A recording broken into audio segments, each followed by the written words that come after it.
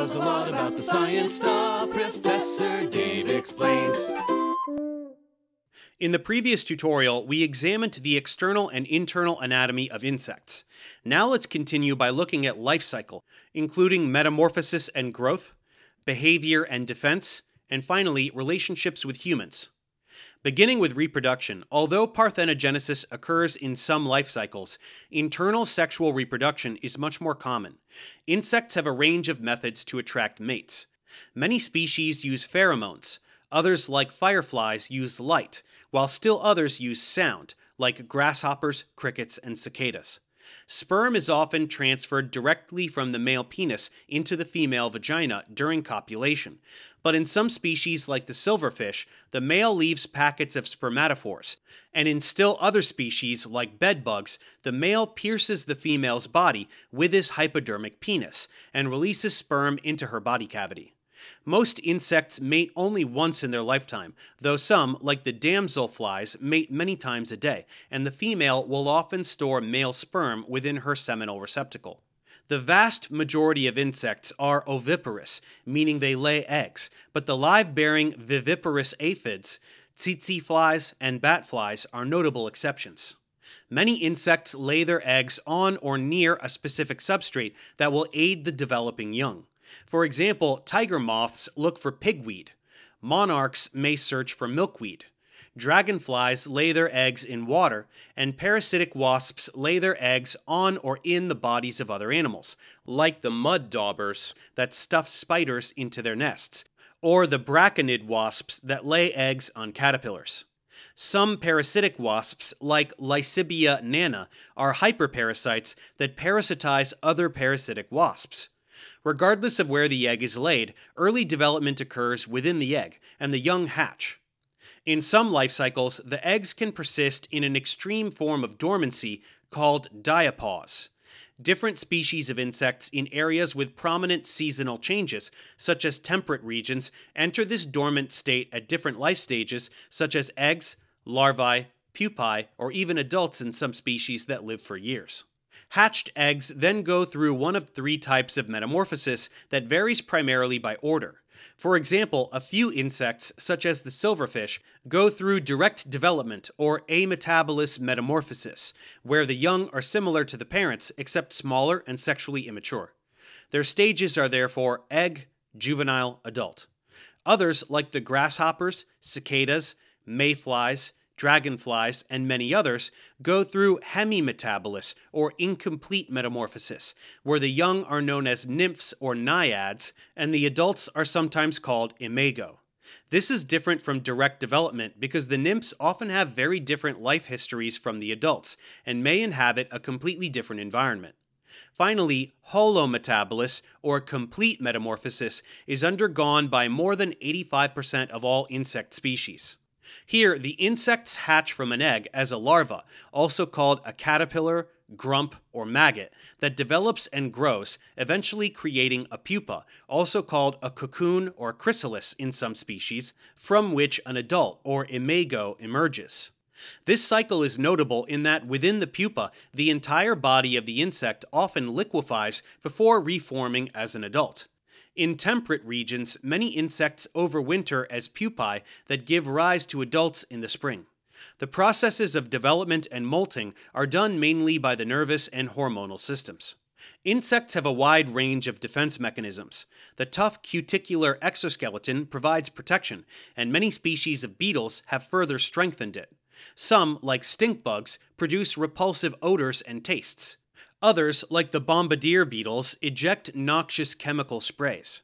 Still others, like many female hymenopterans, have modified their ovipositors into stingers. Some species of insects have bright warning colorations, while other species mimic potentially dangerous insects, like the harmless hoverflies that have similar colorations as yellowjackets. Since insects have a range of sensory structures, they also have a range of methods for communication.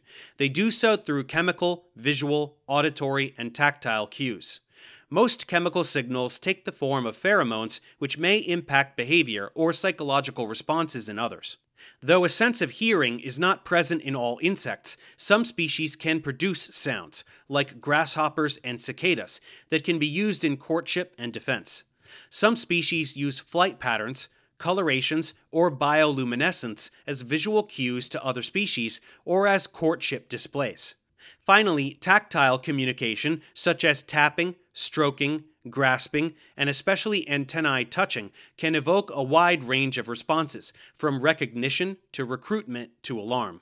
This is especially well known in the case of the gregarious phase in locusts, which is triggered by tactile communication when solitary locusts group together due to environmental conditions and form massive destructive swarms. Though many insect behaviors are thought to be innate, there is a great deal of evidence that suggests insects are capable of learning and pattern memorization, and some species do so with ease. Sociality among the insects varies widely. Many species are largely solitary and potentially aggressive to members of their own species, though this often changes during the mating season. Some species form temporary or uncoordinated groups, like the hibernating associations of carpenter bees or the feeding clusters of aphids.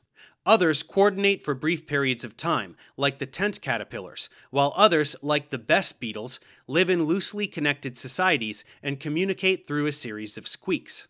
However, in the eusocial hymenopterans, those being honeybees and ants, as well as the termites or Isoptera, social structure is essential to colonial survival and is often regulated through tactile and chemical communication.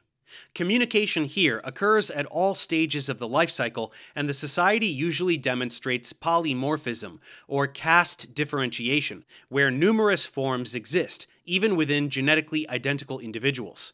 In honeybees, for example, there are three castes the sexually mature female queen, the sexually mature male drones, and the sexually inactive workers, which are inactive genetic females. Contrary to popular belief, the queen is not in charge of the hive, and workers may remove or even kill queens to replace them.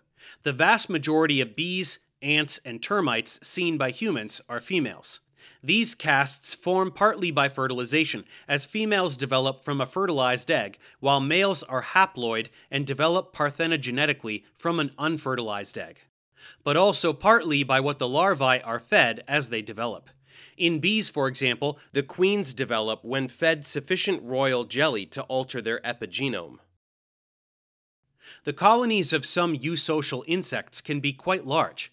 For example, as many as 70,000 honeybees can occupy a single colony, and some termite mounds, like the 4,000 year old termite mounds in Brazil, can be seen from space.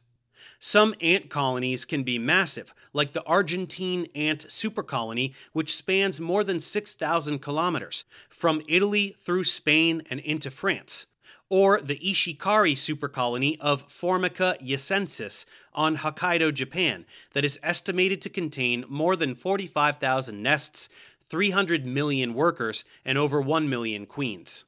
Finally, different species of insects have very different relationships with humans. There are many species of harmful insects that eat plants and fruits, such as the grasshoppers, weevils, and aphids. Nearly every crop cultivated by humanity has several insect pests that feed upon it. In forestry, outbreaks of bark beetles can destroy whole areas, and invasive insect species travel around the world as unwanted passengers alongside humanity. In addition, about 10% of all arthropod species are parasitic insects like lice, blood sucking lice, botflies, and bedbugs. Some species, like some fleas, can carry plague, while some mosquito species carry dangerous diseases like malaria and Zika. Still others live and compete with humans for food and shelter, like some species of cockroach, ants, termites, clothes moths, and carpet beetles. Humans have, in return, developed a wide range of poisons and insecticides to deal with pest species, though they can backfire as insects quickly develop resistance. The vast majority of bed bugs, for example, are resistant to many toxins, and pesticides sprayed on crops can often harm beneficial insects as much as or more than the targeted pest species. Colony collapse disorder in many species of bees has been definitively linked to specific pesticides. Considering bees alone pollinate $14 billion worth of food crops in the United States for free, their loss would have massive ecological and economic impacts. This doesn't even consider the numerous species of beetles, lepidopterans, flies, and other bee species that pollinate an even wider range of native plants and crop species. Some insects, like silkworms, produce silk. Others, like the lac bug, produce shellac. And others produce beeswax, natural dyes, and pigments. Still others, like the parasitic wasps, ladybugs, mantids, and tiger beetles, have been used as biological controls against pest insects. Many beetles are important detritivores, and a great deal of hymenopterans play essential ecosystem roles.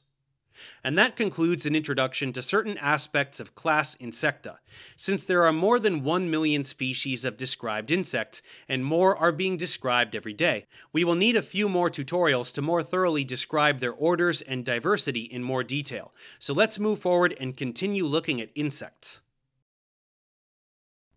Thanks for watching. Subscribe to my channel for more tutorials. Support me on Patreon so I can keep making content. And as always, feel free to email me, ProfessorDaveExplains at gmail.com.